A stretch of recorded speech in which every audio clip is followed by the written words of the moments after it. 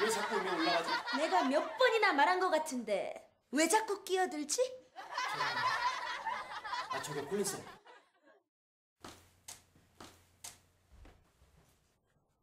네?